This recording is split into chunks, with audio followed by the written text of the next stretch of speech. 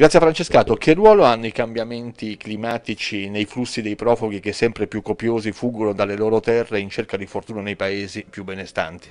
Purtroppo è enorme. Noi ci dobbiamo ficcare in testa che il cambiamento climatico non è un problema ambientale soltanto, è un problema geopolitico di primaria grandezza, il che significa che ha conseguenze sociali enormi. Una di queste sono proprio i profughi climatici.